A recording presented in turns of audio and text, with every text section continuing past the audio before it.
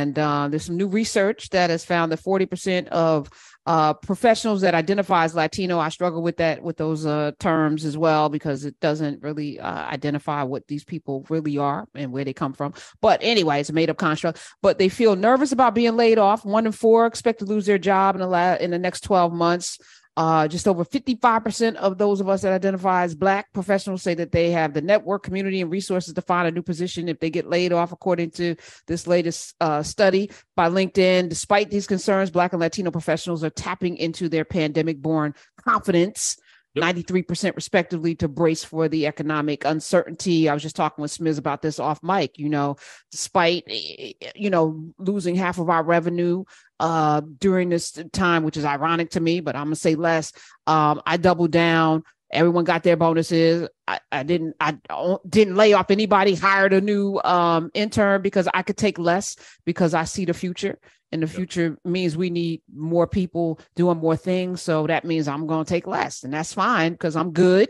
So I don't need more you know but that's what that should look like and to me when you start tightening your belt you are uh, feeding the lack not yep. the abundance that's around the corner. But tell me what the study is all about, Drew McCaskill. So putting on this is my LinkedIn hat, and one of the things I say when you look at what people are saying around the around recession and we're seeing layoffs and all that, and you're like, but Drew, you're saying people are feeling really confident, right? Like what's you know make it make sense right and so the thing I, that i say is that now's the time to read the markets and not the headlines and when you actually read the market um, you are seeing layoffs largely in tech. Tech makes up less than 5% of the entire labor market. So you're seeing all these headlines about all these big companies laying off. They're largely technology companies. Don't let that don't let that scare you make it you should be aware but not scared right and here's the thing that i say for job seekers um, who feel uncertain about what's going on in the market right now, it's important to know that there's still a lot of jobs out there. Right now on LinkedIn, there's one open role for every job seeker. If you look at the entire labor market, it's about 1.6 um, open roles for every job seeker who's out there in the marketplace. And, you know, I think that we got to continue to remember that, you know, if you're actively looking for work, that that those job openings are nearly double the pre-pandemic era.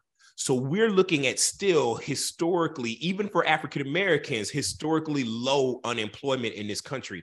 And we have our new um, jobs, um, the hottest jobs in the country, jobs on the rise.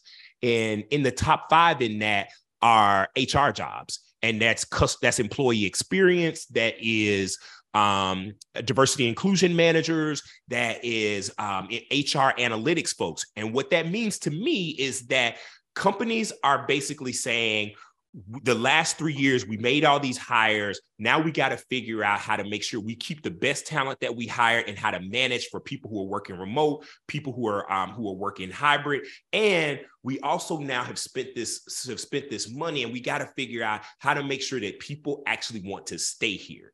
And so that's a really good thing because if people are economic economic hardships and, and tough times economically separates the wheat from the chaff in terms of who actually is really serious about employees and investing in employees. And if you're now at this moment of like where we're seeing you know coming recession and you're investing in these hr jobs particularly in diversity and inclusion you know that that's a true priority. Number four on the list truck drivers. We're seeing people um, offering six figure starting salaries for people with a cdl as well as signing bonuses that are commensurate with what they're offering people in the corporate offices for people with a CDL. So there's a lot of those things. To your point, Karen, what you're doing is exactly what I think some of the largest and the smartest companies are doing. They're saying, hey, revenue may be down, but the number one job um, on our new jobs list is um, people are looking for head of revenue management and revenue operations, people to help you figure out what do we need for the future? How do we take this money that we're bringing in and put it in the right place and bet on the right things for the future of the company,